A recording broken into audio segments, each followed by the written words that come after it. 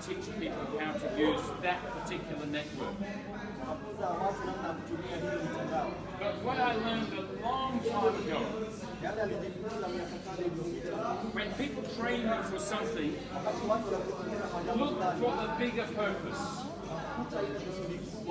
Don't just think about it in terms of how someone trains you.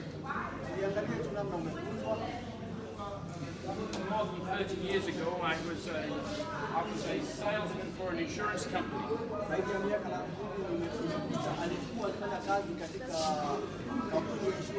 And they, they trained us on how to sell the product. But I learned a lot about sell from that. So I wasn't just selling insurance, I could take that and adapt it and use it to sell anything.